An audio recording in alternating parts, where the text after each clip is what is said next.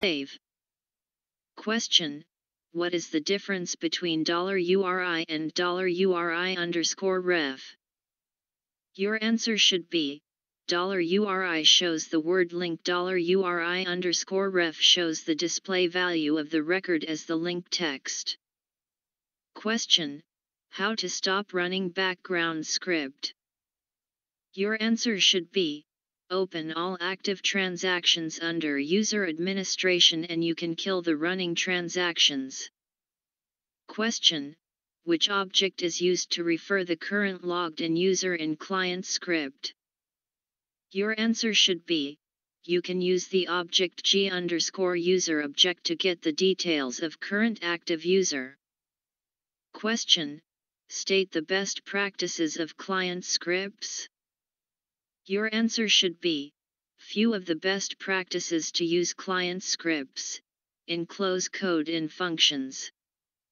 Avoid DOM manipulation, use G underscore form object. Avoid global client scripting, etc. Question, how will you hide slash show a field using client script?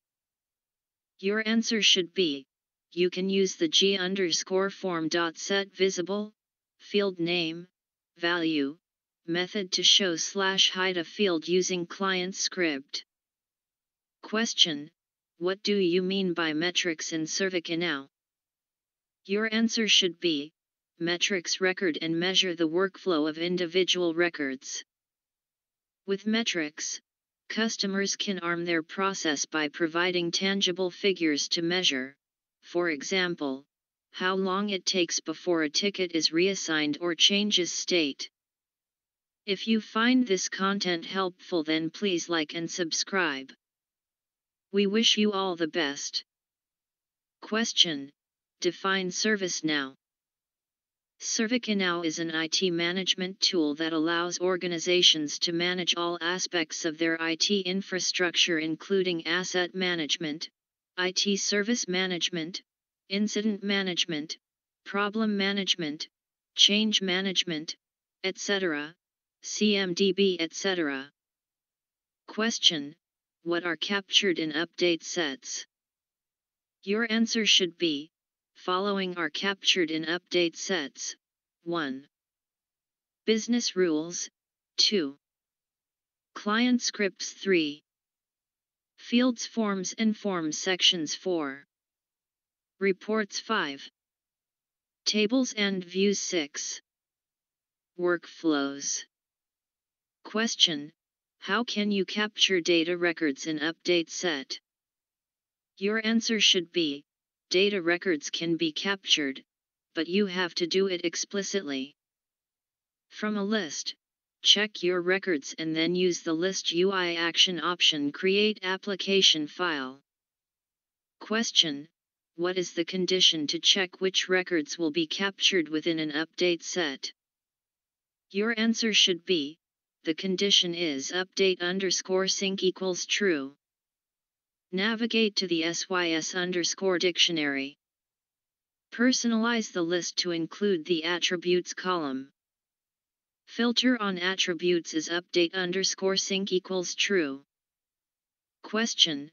How to move customization to another update set without merging them.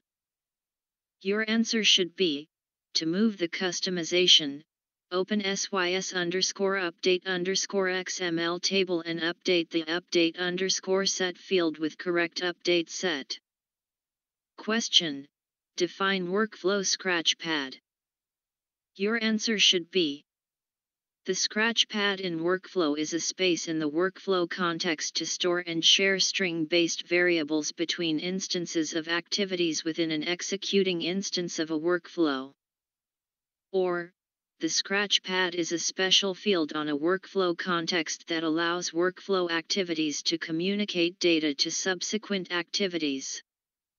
Or, the workflow scratchpad is used to store data during the execution of a workflow.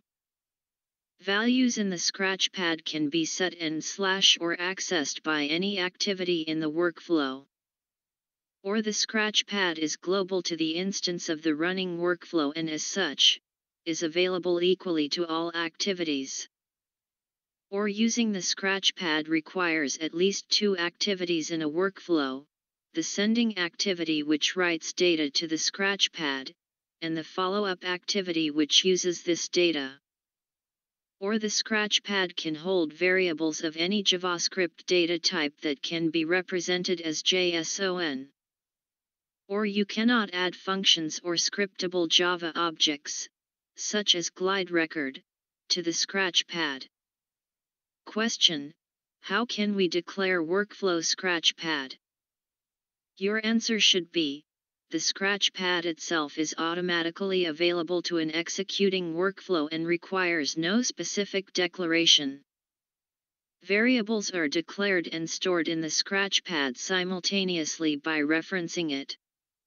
Workflow.scratchpad.variable name equals variable value, or var my value equals workflow.scratchpad.variable. Question List of data types stored by Workflow Scratchpad? Your answer should be the Workflow Scratchpad can store multiple data types.